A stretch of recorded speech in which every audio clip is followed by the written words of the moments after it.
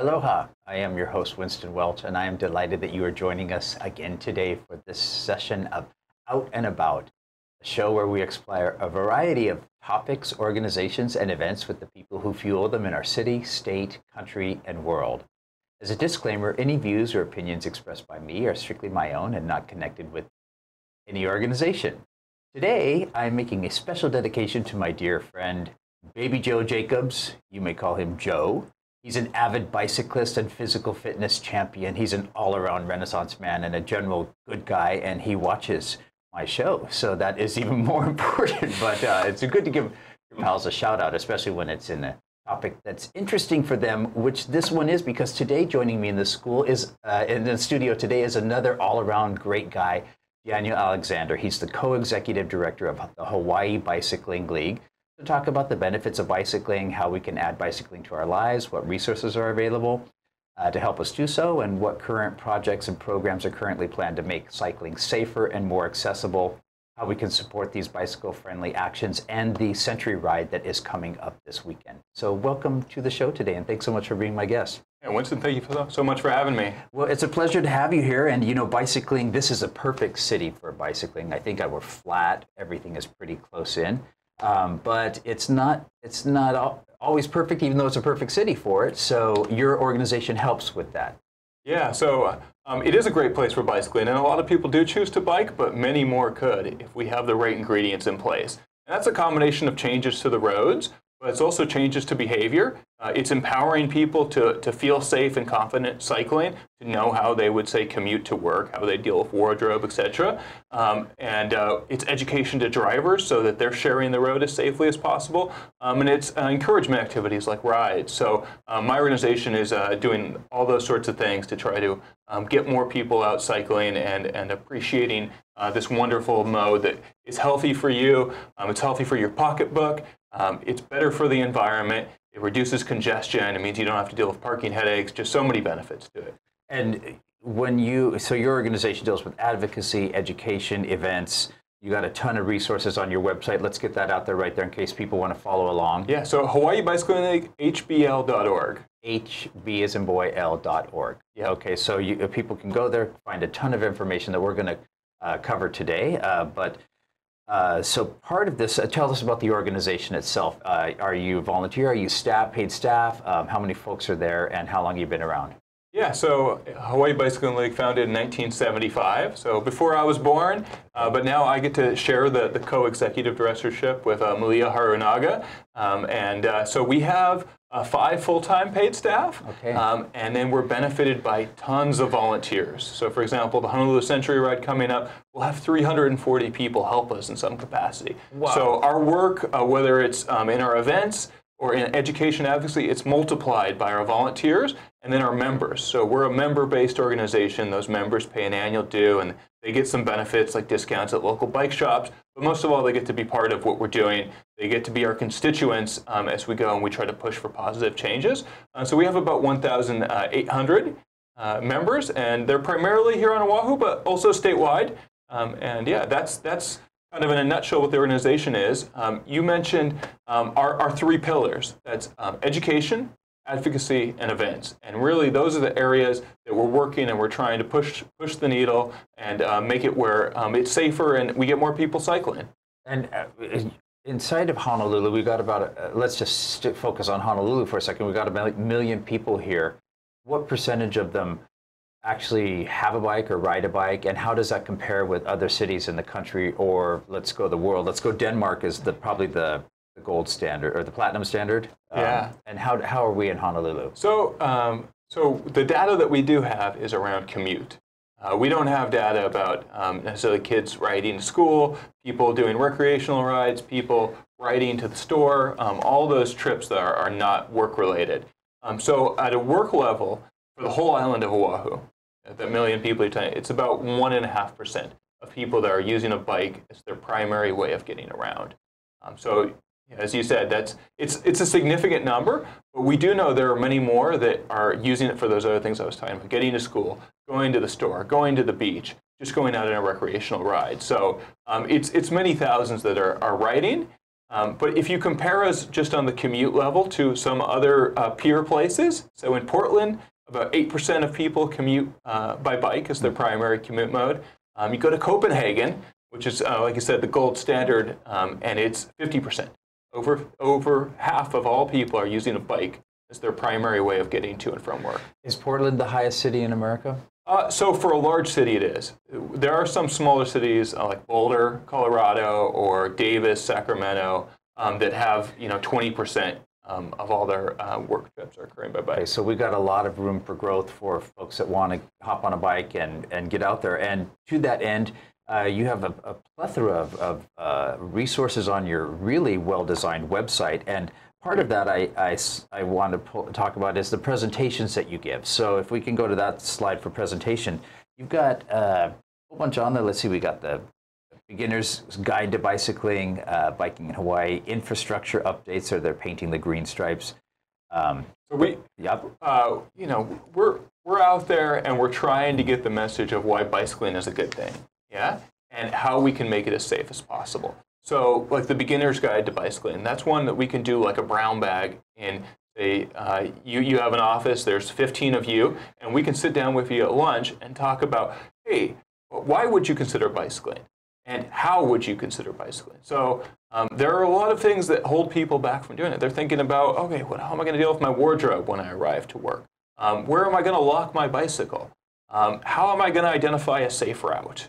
Um, so we start to walk them through, okay, these are, are how other people deal with those things and um, get a, where we shed those barriers away, where they can really start thinking about it as a meaningful part of, part of their life and start to bicycle uh, commute or, or bicycle in any capacity. And people can just go on your website, they can find an interesting presentation, and then there, they could, there's a drop-down menu that asks to schedule a presentation. Yep. And, and, so would that be typical where, where an office says, uh, could you please come and talk to our workers about this? Yeah, exactly. Okay. Um, and then we also, I'll just, one other one I'll point there is a walk, bike, drive. Mm -hmm. um, so that one is more, it's not just bicycling, it's um, it's oriented towards people walking, people biking, and people driving about how to stay as safe as possible when they're doing those things and how to keep others safe when they're doing those things. And that was one thing that uh, we were talking about right before the show was that you you have also as part of uh, I'm guessing it's kind of a city or federal grant on make uh, maybe it's complete streets, but making the streets more safe for pedestrians as well. So that's that's kind of uh, expanded your mission a little bit, as, yeah. but it's similar. You want safe streets for bikers and, and walkers. Yeah, so we're the Hawaii Bicycling League, but we do a lot of pedestrian advocacy stuff. So uh, as, as, I'm sure many viewers are aware, um, we have a terrible situation of pedestrian safety. Um, and there are most vulnerable people out there, people walking, people bicycling. They don't have airbags, they don't have crumple zones. Um, they really count on um, keeping themselves as safe as possible and that the, the people driving around them are behaving in a way that, um, that is uh, yielding to them, that essentially is not hitting them. Um, so we do a lot of education around that, trying to um, get everyone on, on the same page um, so we, we can just navigate the streets and share the streets as safely as possible. Share the streets, and that's one thing is we, we saw each other, was it last week or two weeks ago uh, for the presentation from the fellow from, uh, was he from Boston, and talking about uh, low speed collisions, people have a chance of surviving, but when you got higher speeds, it drastically reduces. And yeah. also how people behave in their cars and was a really great presentation. What was that one? Uh, Jeff Speck. Jeff, Jeff Speck, he, he did a talk here. He's an expert on walkability. Um, yeah, just one of the things you mentioned, speed is a really important thing. If there's one thing that we could tell anyone that drives out there, is drive slower. Yeah. Because your uh, response time, your brake time, your field of vision, and so all those things affect whether you hit someone or not, whether you get in a crash or not. Yeah. But then the faster you're going, the severity increases exponentially. Yeah. yeah. The relationship is like if you're going 40, there's like a one in 10 chance that someone would survive getting hit, a pedestrian would survive. And if you go down to 20, it goes to nine in 10 chance. You go down to 10, it's pretty different. Much. And really, our streets are so crowded here. You shouldn't be going. You, I can hardly go faster than 15 most of the time. So yeah, it's it's about increasing awareness for drivers to share the road, share bars, um, you know, and just educating people on how we have these new bike lanes that are on King Street or, or wherever they're, South Street and wherever they are. And that's part of the education that you do. So we got another slide up here on, on this, and I think some of these speak to that, like the protected bike lanes um, that we've got here. Yeah. And uh, can you speak to some of these, So- uh, these So things? you mentioned uh, King Street, uh, the King Street protected bike lane and South Street. So that's something that they've been doing in uh, Denmark. We, we mentioned Copenhagen. They've been doing that since you know the 1960s. And finally, we brought that design to Hawaii in 2014. And it was a new thing at that point. The idea that you have parking and you then have a bike lane that's physically protected, and Yeah. then when a motorist is going to make a, a turn, they need to be looking out in that bike lane and, and yielding um, in those intersections. Um, so it was something new. So we did a lot of education to try to build up that awareness. Uh, but you know, these protected bike lanes, if I could emphasize a little bit, um, it appeals to a broader range of folks, not just you know folks like me that say I, I love to bike, I'm going to figure out a way to do it. But there are a lot of people that say, hey, it would be nice to bike. But I, I don't I look out there and I don't feel like Yeah. like I feel safe there. Yeah. We call them the interested but concerned. And it, uh, studies, surveys, including here in Hawaii, have shown about two thirds of people would like to bicycle at some level, but need a really safe feeling environment to do so. And the protected bike lanes are really key um, to, to getting that. So I'm, I'm merging from the education to advocacy. But that's part of why we push so hard for these protected bike lanes is because it can really uh, grow the percentage of people that are, that are cycling where it includes uh, folks that are less experienced, uh, children, et cetera. And I think Mr. Speck spoke to that. What was his TED talk that he mentioned? Uh, just in case people Uh, want to do that. Just Google Jeff Jeff Speck. Speck. Uh, Jeff Speck. TED Talk, S P E C K. I- I'm guessing he was he was reasonably uh, also entertaining. But in there, he did talk about these. And we call them protected bike lanes. And he showed us a picture of one before where they had just the bike lane, but it was right next to traffic. And he said the one thing he wished that he had done more of or knew better was to put that parking lane and then the bike lane and then the sidewalk because it does create and it also helps pedestrians feel safe too because you have a row of cars that are parked that act as the barrier. So that's the protection you alluding to. I saw in vancouver they have like uh, those concrete um, you know uh, barriers which uh, not as attractive but i guess they, they have more uh, maybe it was a space consideration there. But we're all learning i guess and, and how it works best practices around the world so in some of your in some of your also your um, events that you got you got Hawaii bicycling laws. So you're teaching the bicyclists also how to be a good bicyclist and a safe bicyclist and and just pay attention to the rules of the road as well from that perspective. Yeah, so we have uh, education starting from Keiki all the way up to Kupuna. Yeah, so our, our largest single program is our Bike Ed program. So it's, uh, it's oriented at fourth graders. So we have uh, two box trucks that go around the island and they teach in schools, spend a week with fourth graders, um, teaching them the basics of, uh, it's essentially road safety. It's focused on bikes, but um, knowing how to yield, to look before you cross the street, um, to signal your intentions, um, to, to know your place, to go um, with the direction of traffic. So it's a lot of really fundamentals on bike safety, but also traffic safety in general. Um, and then uh, we have uh, several classes for adults. We actually have we got this on the next uh, uh, slide Oh, here. I'm are some, ahead no, no, it's okay. We've got some cycling workshops here. So you were talking about the learning to ride, and so I thought that's because maybe some people don't know how to ride a bike. Is that yeah, or they haven't ridden in many years. So Uh, the, the old uh, saying that uh, it's like learning to ride, it's like biking again, or you, you, you don't forget how to ride a bike or something You like don't, but sometimes you need a little, you need the welcoming, positive environment where you feel safe and comfortable to do it. Okay. Um, so our adult learn to ride. So it's uh, it's never too late to learn. Tell you that much. We've had uh, people that are very elder um, learn to ride with us. Um, you take a day, take a do, two days with us. Um, we do it in this a nice uh, protected environment where you don't have to worry about traffic or, or really anyone else. Um, and you just uh, you give it your best, and most people will come away after one or two days, um, and they'll know how to ride. And do you have uh, like kind of I- want to call them like adult tricycles that, that are available as well for people? So our senior cycling program, which Okay. we go all the way to the Kupuna. I think we got a picture of that one up Uh, here. Uh, uh, maybe the, uh, right after that was senior cycling, which is maybe the there they Yeah. are. Oh, I see. Oh, so those are. So yeah, these are uh, recumbent uh, tricycles, recumbent trikes. okay. Uh, so if you have a balance uh, issue, Yeah. or if you've never ridden a bike Yeah. and you don't feel you're up to, to uh, learning how to um, get the balance down, um, you can ride one of these. If you have a basic level of physical fitness, Um, we'll work with you. We have different levels. We have three different levels: an introductory level, and all the way to an advanced. Um, and they're for folks we call 50 and better. Okay. Um, and uh, you can join them. One of the workshops does. Uh, people love them. You know, the feedback we get.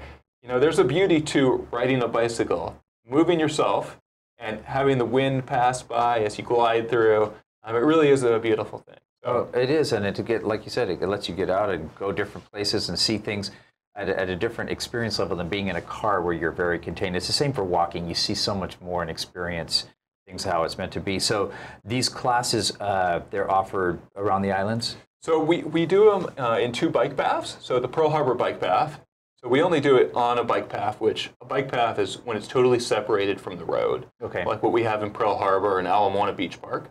Um, so those are the two places we do them.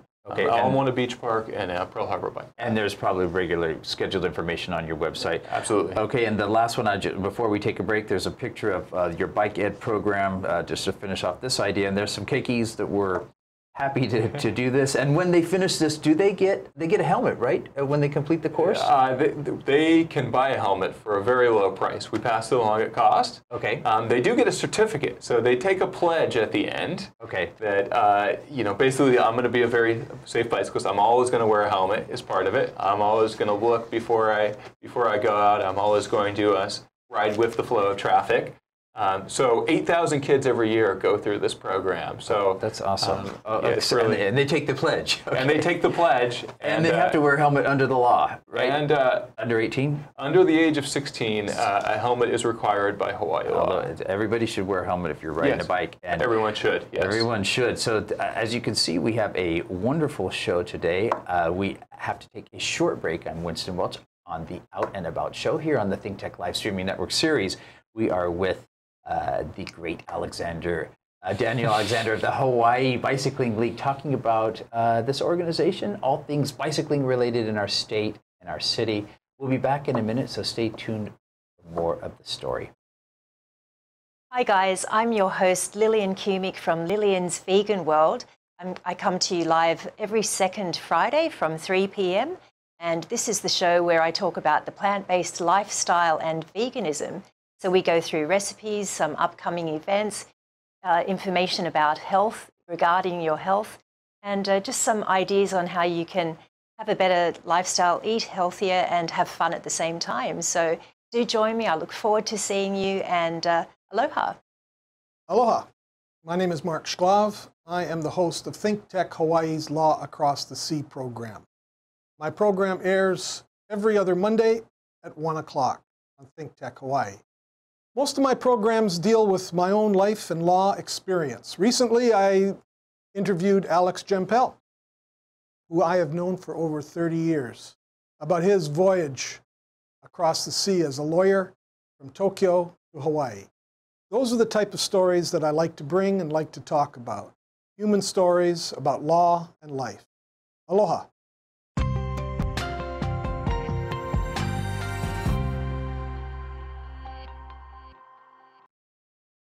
Hey, we're back and we're live. I'm Winston Welch, and this is Out and About on the Think Tech Live streaming network series, talking with Daniel Alexander of the Hawaii Bicycling League. We are talking about his great organization and the fabulous people he works with, and all things bicycling related in our city and state. So, welcome back again and, and to the show and, and talking about this. Uh, a lot of important issues because we're dealing with safety, dealing with the road, we're dealing with people learning new activities, um, ways to get around, all kinds of stuff. And, and part of of what your organization does is advocacy. So we talked about, about some of the educational component that you have. You got classes for for kids and for seniors and how to follow the laws, and then we got the advocacy here. So we got some things up here on the screen here, and you've got um, walk, bike, vote, the minimum grid, uh, the, the bike parking, and Vision Zero, and safe passing bill. So tell us, uh, and protected bike lanes. Tell us a little bit about these guys.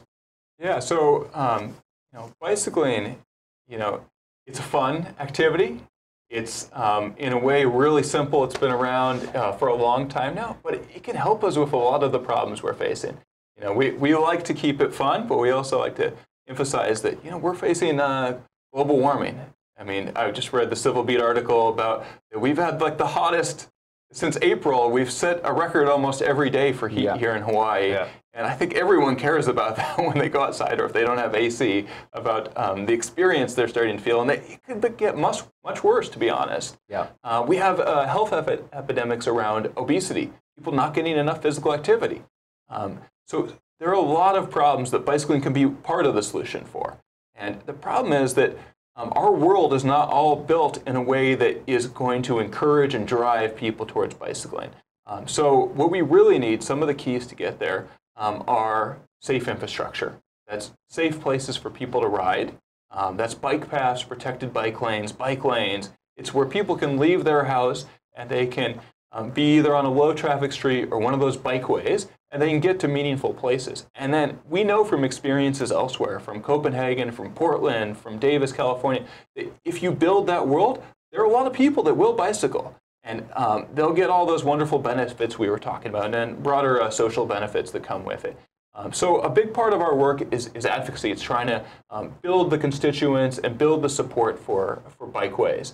Um, so one of the things that, that you, you mentioned, our walk, bike, vote. So every, every two years um, when we have elections, um, we do a, a candidate questionnaire where it covers both walking and bicycling issues because frankly, walking, all the things I just mentioned for bicycling, they're the same for walking. It's, it's great, great for you, it's great for the environment, but the infrastructure is not really well suited for it at this point. And safety behooves us to do something about it beyond all those things we mentioned, beyond all the, the benefits that we can reap from it.